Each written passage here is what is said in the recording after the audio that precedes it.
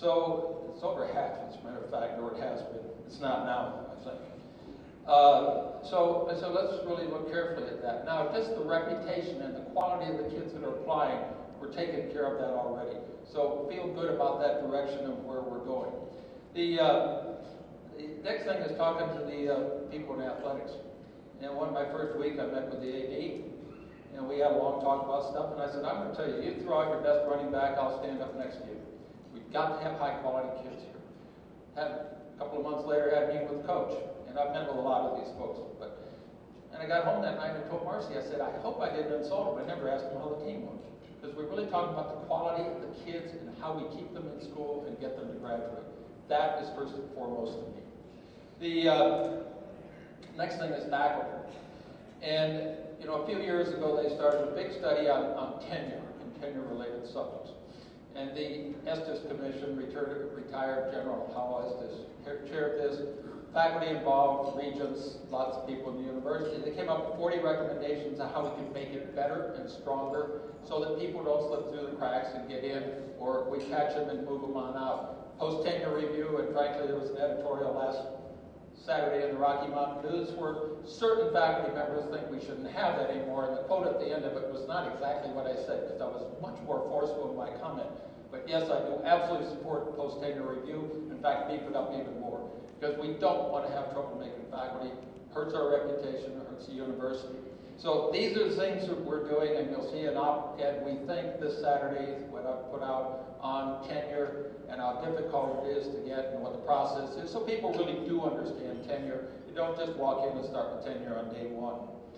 The uh, I mentioned earlier addressing problems immediately, I can tell you we have a problem a day, Ken, at least, right? What do we do about it? We're on it immediately. We're talking to our campus people, we're talking to whoever else we have to talk to, and we address these problems as fast as we can. So we've got 54,000 students. If anybody can remember back to your teen years, don't seem to be too many teens in this room, but uh, I can remember back, way back then. And you know, we, all were, we weren't perfectly good all the time. So we will have these problems, but take a look at us and see how we address the problems and how we're solving our problems because I think we're doing a great job on that, and we get very, very little bad press. Uh, in fact, I think it's almost none so far. Uh, I want to talk a little more about funding. The, uh, there's four basic sources of funding that we get. I've, I've, mentioned private philanthropy. That does not pay operating costs. That's salaries, turning on the lights, etc. So, you know, that's where we're short is operating funds. Second is research. Again, $661 million but it doesn't pay a little bit of help with operating costs, but most of it does not go to pay your operating costs at the university. Tuition, now last year, we are still under our peers that we measure ourselves by, but we're close to being up to it, but not quite. But we had to raise tuition more than we wanted. Why? State mandates and things we had to do. You don't, you don't argue, you just say yes, sir, and you do it. So this caused us to spend, because of that and equity and some issues I won't go into details on, it's about 48 million bucks. So we had to raise tuition to cover these things. So these are the kinds of things that we're, we're up against as far as funding. So we have to raise tuition to cover this. Now the other one is state support. There's two pieces of that. One is capital development, deferred maintenance, which is building buildings, fixing buildings, fixing things around the campuses. And last year we did very well. We had a commitment of $133.5 million. Right? Yes. And uh, we, we've got about 20 million of that on hold right now, but that was that's a really, really big year for us. So we're very pleased with that. I do not expect to get that this year. Times are tight, times are tough. We all know that. The, uh, the other thing is the operations and all of higher education. The budget for higher ed is about $770 million a year of state support. And we've got, we, the entire higher ed system, got 65 million increase. That was composed of a couple of pieces. One is its mill levy freeze, and the other was a miscount on K-12 uh, kids, which freed up 35 million alone. So that helped us last year. I do not expect that this year. I expect it to go down this year. Uh, and I want to uh, just stress to you again, 48th nationally is where the state of Colorado ranks, and I want everybody to talk about that to all of your friends. And, you know, for us, uh, we're, we're basically getting about one half in this state of what we need just to be average. And if we look at our peers and people talk about operating costs. We are, our operating costs, our overhead costs, just the overhead costs, is 20 to 25% less than our peers around the country. So I think we do a good job on that. A lot of business guys say, well, why don't you cut your, cut your overhead? And we've got to cut down pretty tight. In fact, in some cases, I think it's probably a little too tight.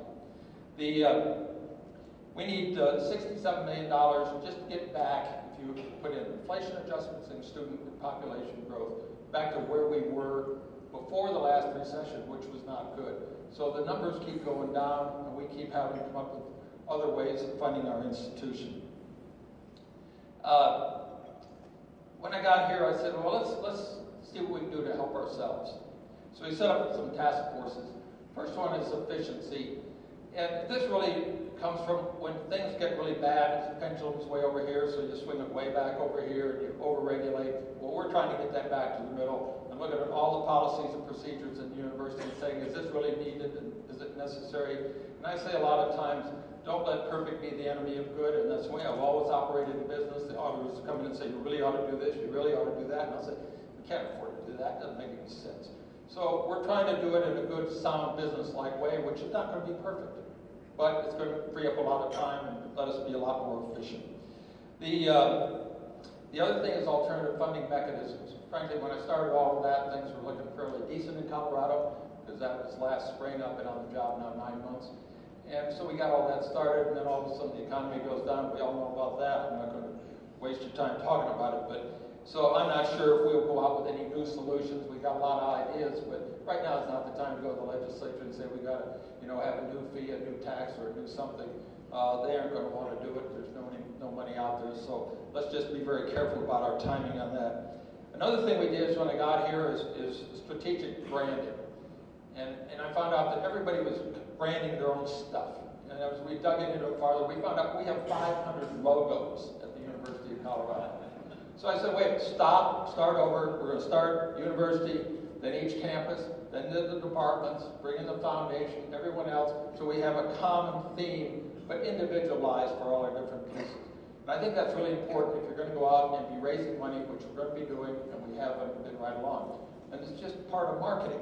So we've hired a really first-class firm, Landor. Uh, they have done things like FedEx, and when you hear the story of how they did it, it's really interesting. NCAA, and I, I think that my favorite is they actually branded the country of Jordan. And they told Jordan, your national anthem is too negative. You've got to change it. You have to have a positive beat to this. And I think that's pretty amazing to brand a country. So these guys are real pros. Great people. We're getting down next week. We have a big meeting to discuss their, what they're learning so far. the uh, Another thing that I think is really important, I've increased our lobbying operation, particularly in Washington. Uh, I mean, that's where the money is, that's where you need to go. We've been running with uh, 80%, one, one, one eighth of, a, or excuse me, 80% of one person is our lobbying operation in Washington. So we're increasing that because that's where the money is. And frankly, whether it was John McCain or Barack Obama, they both don't like earmarks, and we're going to have to look at other ways. That means digging into the agencies and, and getting no more people getting our faculty more involved, et cetera. So we're going to do a lot of work on that. I'm not going to take a lot of time, your time on that. the, uh, the other thing, I had one of those at 3 o'clock in the morning brainstorms a couple of weeks ago, and it was Barack Obama wants a lot of public works projects, and he wants to create jobs now. And I thought, we can help him. So I called all the chancellors. I said, guys, get your list together. I want, I want the model that your project is. I want to know what day you can start it, you know, because a lot of projects in two years. You know, we want to start right now, next few weeks or months. And then how many jobs? So we've submitted all of that. It's uh, $585 million. We said, well, if you want jobs, there's a way to create them. So we want to get on that list. And I talked to Ken Salazar about this prior to doing it, about the time I started it. And he said, well, they could, could be half a trillion dollars If you think about that, it's 10 billion for the state of Colorado. He's had a lot more than that, but I'm doing the shorthand here.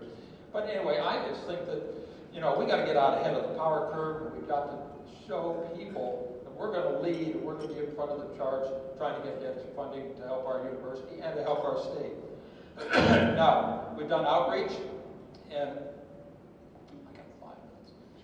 Uh, you've already used one of my time. Uh, We made twenty, about twenty-five stops around the state, and I think it's important that we remember that we don't just have